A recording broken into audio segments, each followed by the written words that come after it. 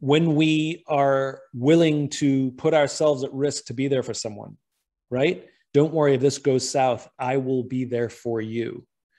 Um, which m- may mean working late, it may mean working extra hours, it may mean putting our reputations on the line. I mean, there's a lot of things that that takes. Um, uh, but when we genuinely promise to be there for someone, um, um uh, and and it, it, has to be genuine, uh, because if it gets tested, it's it's very easy to find out if it was genuine or not. Um, but if it's genuine, then then it's repaid remarkably. Let, let me give you a silly example.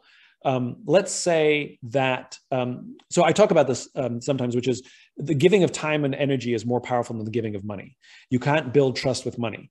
So paying somebody bonuses and giving somebody a big salary, though feels nice, is not earning or building any trust whatsoever. You cannot pay for trust.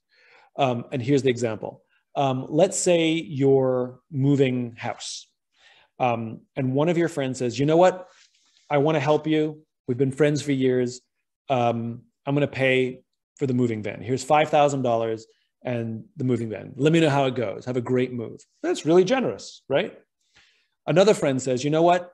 I want to help you move. And they come over the week before and they're sitting in your house packing boxes. They're sweat dripping down their brow. They're there with you all day. They're there to help load the truck. They're there to help unload the truck. They're, they're there um, uh, to unwrap everything, right? They paid zero money.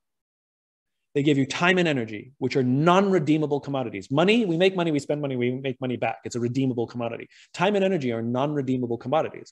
And so when someone gives us something that they cannot get back, it has a much more powerful effect on how we feel. So now both those people call you another time and say, I need your help. Which one are you more apt to help?